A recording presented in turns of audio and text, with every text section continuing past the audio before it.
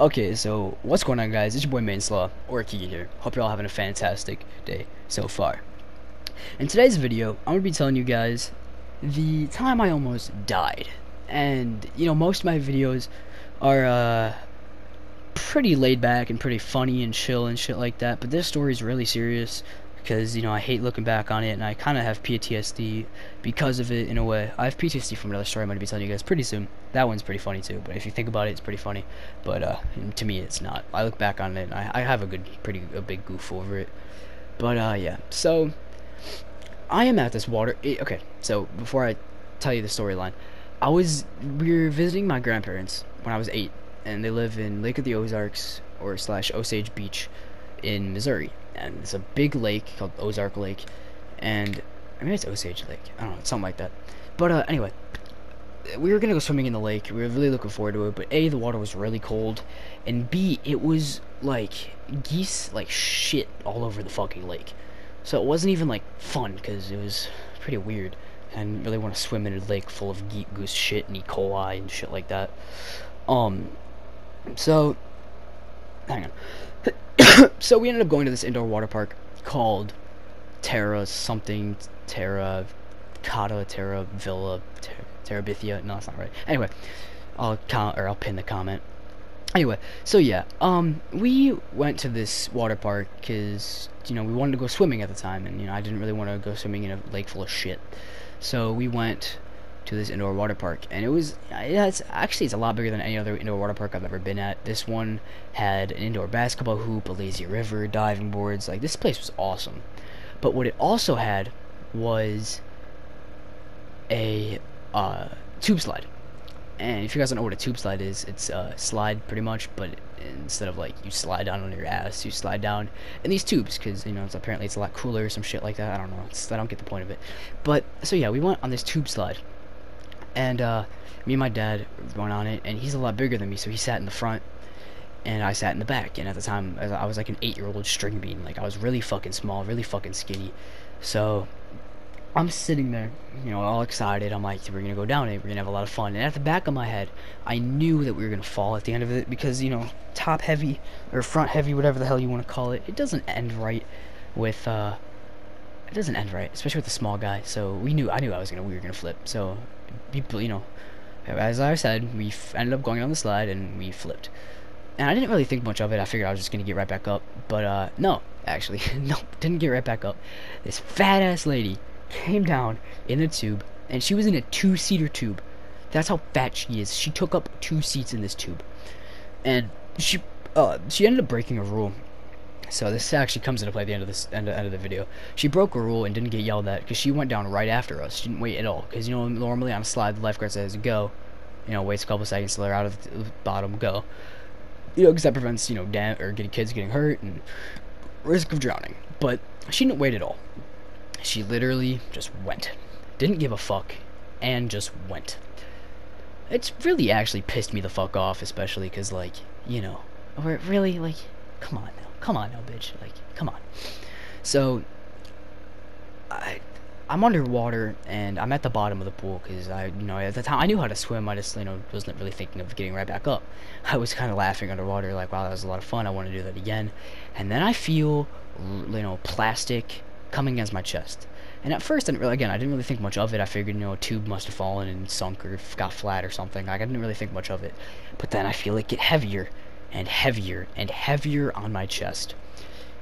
And yeah, the lady was sinking on top of me. So my dad ended up. I'm, so a quick thing. I'm underwater for at least a minute or a minute and a half in this story, and I don't remember everything about it. A lot of the stuff I uh, my dad told me about afterwards. That's how I know a lot about this story. Um, so I'm underwater, and my dad, I'm freaking out because I'm like, I'm eight years old, and my life is literally about to end. Like, I'm going to drown because of a fat lady. That's how I'm gonna go out. On my gravestone, died because of a fat lady. Rest in peace. You know, that's not what I'm looking forward to in my life. Like, no, that's not what I, how I want to go out. So I'm freaking out. Like, I'm completely anxious. I probably could have lasted. Like, I probably could have been conscious this entire time. But when you're underwater, on, lot under your, you know, control, when you're, you know, not in control of your own, like, body being underwater that long, you freak out, you're panicking, your anxiety's all up, all up. Your fight or flight kicks in, and you're like, I gotta figure something out. But when it's you know, you know, probably a 50, 60 pound kid, you know, four feet something tall versus a 300 pound fucking cow, you know, you're not gonna win this fight. So I'm sitting there and I'm just pretty much waiting for the Grim Reaper to come and take me up, take me up to heaven, or take me to hell, wherever the fuck he was gonna take me, or just you know whatever. I was just waiting. I was like, I'm gonna die, and I'm okay with it. You know, I was I was kind of accepting it that I'm gonna die, but then I feel all this weight get lifted off of me, and apparently my dad picked this bitch up and threw her. And he didn't just lightly toss her, he completely yeeted this bitch. I don't know when my dad became like the fucking Hulk or whatever, but he whew, he saved my ass that day. And I'm not even gonna lie, he literally saved my ass. Because I'd be dead without him. And you know, my dad's like literally my best friend, so it's a really fun story to tell people because he saved my life. And uh, yeah. Uh, he ended up pulling me out from the water and putting me on top of this um, hang on. Sorry, I'm kind of, I'm pretty sick recently, so I kind of have the coughs and the sniffles, or whatever the fuck you want to call them. But he ended up putting me onto this, like, beach cot, you know, like the ones at pools that are comfortable, but not comfortable in the same way. Yeah, those ones. He ended up putting me on one of those, and I wasn't really paying enough attention, but I ended up blacking out or something. Um, so I came to on this cot, and I was like, yo, what happened? Like, how, what just happened to me? And my dad goes, you told me everything. Know, it was like, well, I knew part of it. You know, I knew this fat lady came. And my mom's on the phone with somebody, and I know I wake up, my dad's right next to me, mom's on the phone with somebody, and my mom gets off the phone, goes up to this lady, and starts screaming at her, saying, "You just almost killed an eight-year-old child. How does that make you feel? Next time, maybe pay attention for once." And you know, I had like the life, the thing that made me the most, like made me mad the most, is the fact the lifeguards didn't do shit. Like, if you see a sinking lady, you'd probably tweet your whistle, you know, get off your lazy ass and, you know, get her up.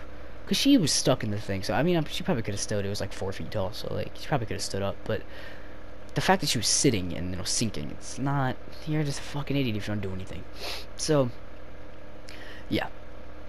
That pissed me the fuck off. That lifeguards didn't do shit. and My dad saved my life. But, uh, yeah and then we ended up we yeah the other thing that made me really mad is she broke the rule she didn't do it she didn't even get yelled at my mom like bitched at her but you know the lifeguards didn't do shit about her my mom or the lifeguard came up to us or the manager whatever the fuck you want to call he pretty much came up to us and asked us politely to leave the pool because we my dad technically threw a girl you know woman off me but you know, I mean I get it but at the same time I don't like she pretty much almost fucking killed me so I guess I don't really understand in one way, but in the other way, I guess I do understand because you know my dad kind of threw a bitch. But anyway, yeah.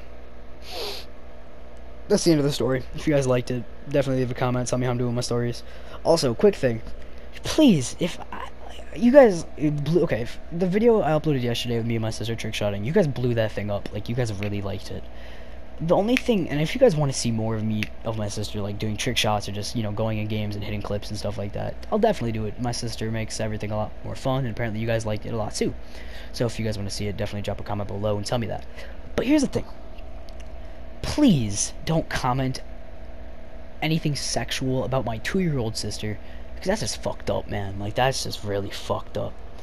Because I know for a fact I woke up this morning to a comment on that video saying I'd hit that, and I at first I like liked it because I you know I thought nothing of it. I didn't know what video it was on because I thought it was like you know the time I lost my virginity or one of those videos, but nope, it was on the video with my sister.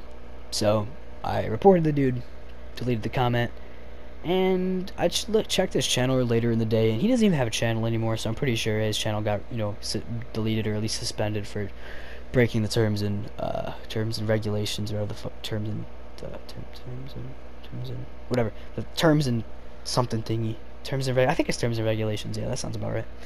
Terms and conditions terms and conditions. So yeah.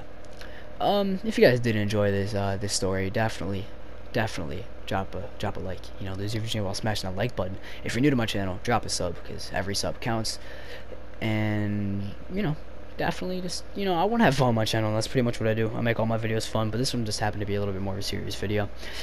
Also, I have a lot of really funny stories to tell you guys that I'm really excited to share with you guys, but I'm saving one of my favorite videos that's happened to me so far, or favorite stories that's happened to me so far, for my 200 subscriber special, so definitely try and get me to 200 subs, because fuck it, You know, just try. Do your best, and you know, every sub matters, as I said. We'll get there little by little, and yeah. So thank you guys for watching. Always remember to stay slothy, and that's been. I'll catch you guys in the next video. Peace out.